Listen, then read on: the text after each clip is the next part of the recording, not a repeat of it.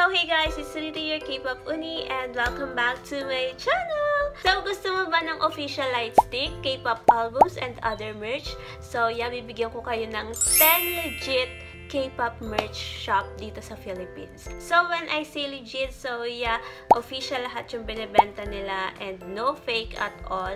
And yung mga albums is counted sa charts. So, based to lahat sa experience ko. So, meaning nakabili na ako dito. And kung hindi naman ako nakabili dito, nakapag-inquire na ako.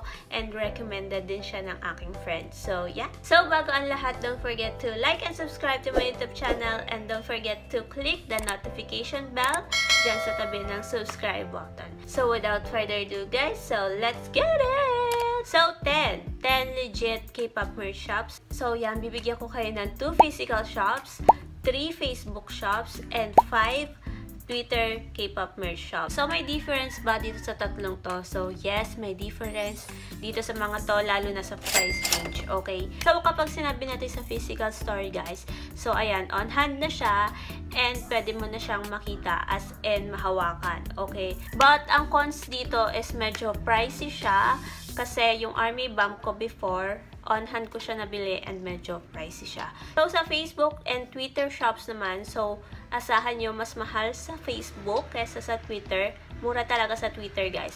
So, sa Facebook kasi, mas madami yung audience dyan. Mas madaming target market, target customers, kaya medyo pricey siya.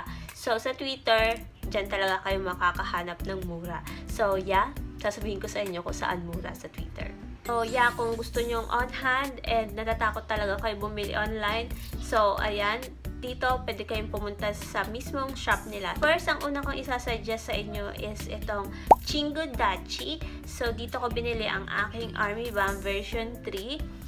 And, of course, bago lang ako sa K-pop noon, hindi ko pa talaga alam yung mga pre-order, pre-order na yan. And, takot pa rin talaga akong pumili ng mga K-pop merch kasi medyo mahal din talaga ang mga K-pop merch. So, ayan. So, nakita ko tong Chingo Dachi sa Facebook. Of course, may Facebook sila and nakita ko may physical store. So, ayan, pumunta ako sa physical store sa Paranaque. Hinanap ko talaga siya.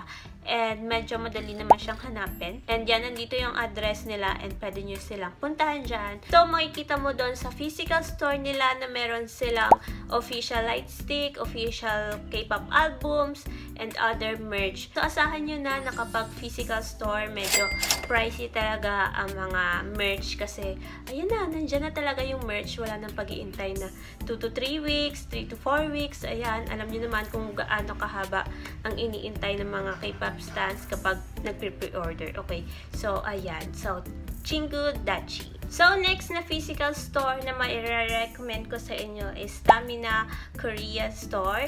So, sa may UST siya. And, physical store din siya. So, actually, hindi ako nakabili dito. Pero, nakapunta na ako dito sa Tamina Korean Store. And, marami din talaga siyang K-pop merch doon sa mismong physical store. And, of course, may light stick din. And, meron din silang grocery doon na mga Korean foods, ganyan. So, nag-inquire din ako doon before ng Candy Bong C, pero hindi din ako nakaabot noon kasi ubusan talaga na ng Candy Bong C noon before concert. So, yeah, I recommend Tamina Korean Store. So, next na sasabihin ko naman sa inyo is itong mga Facebook K-pop store. So, ayan.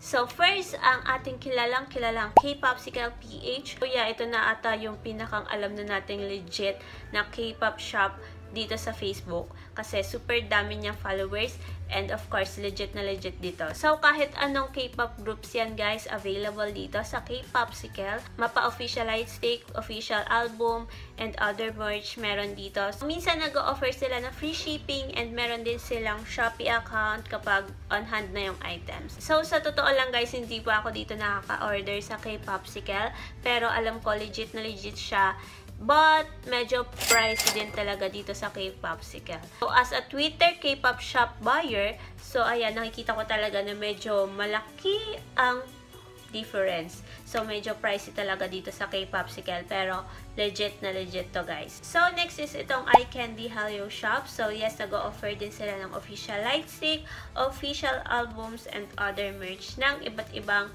K-pop groups. So, hindi din ako nakabili dito, pero legit to, guys. Legit.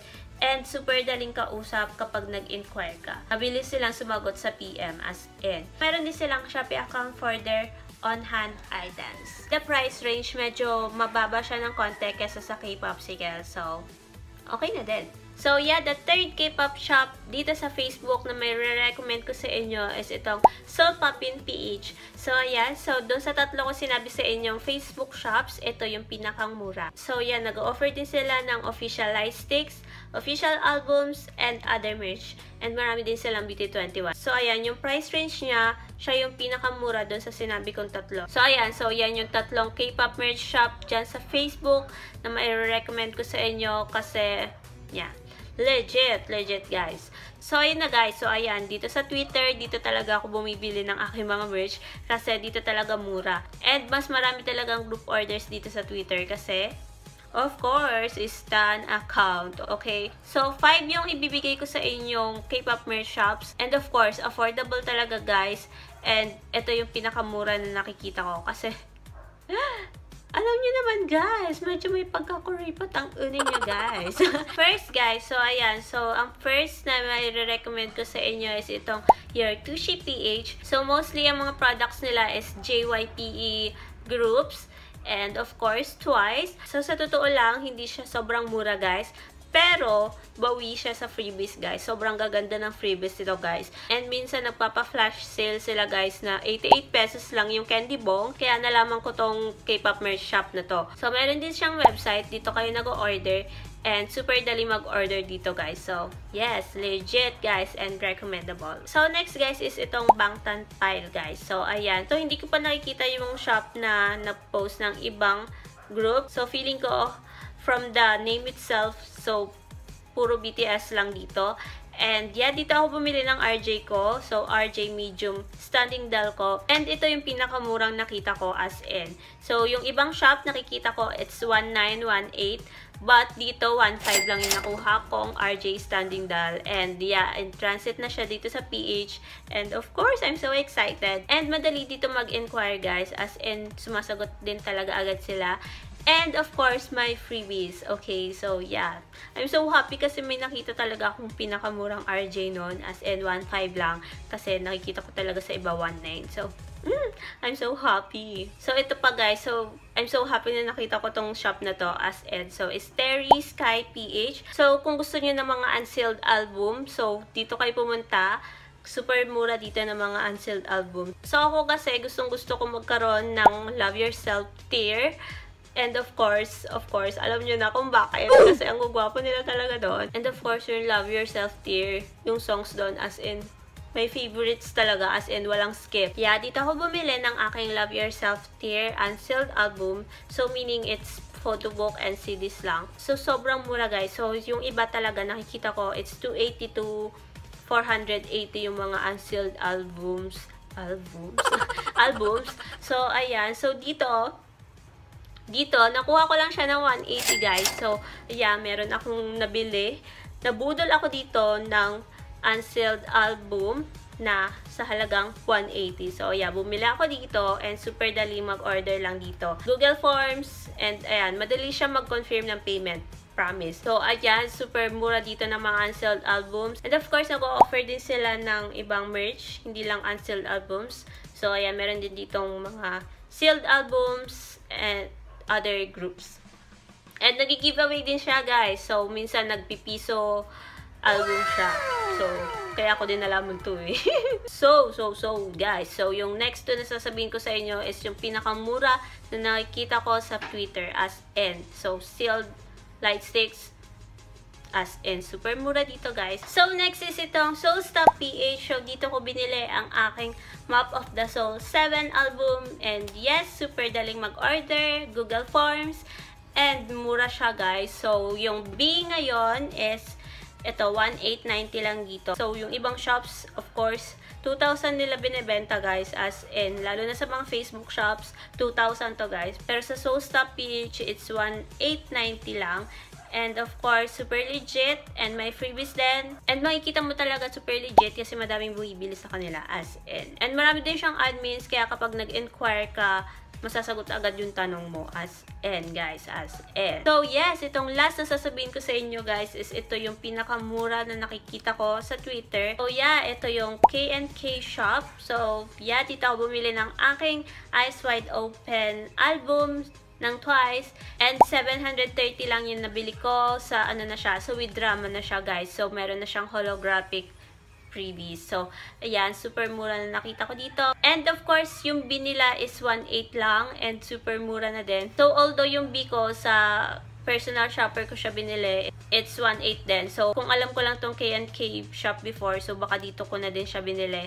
But, 1.8 din naman do sa binilhan ko. So, okay na din. So, yeah, ito yung pinakamura na nakita ko, guys. So, 1.8 yung Weavers B and yung Eyes Wide Open album ko is 7.30 with drama na siya guys. So yeah, super mura guys and super legit. And of course, may freebies din siya guys. So dito sa K&K shop guys, hindi lang Twice, hindi lang Bangtan, marami ding groups na ino-offer dito. And of course, super madaming merch din na group orders as in. So, super mura dito guys and I'm so happy na nakita ko tong shop na to.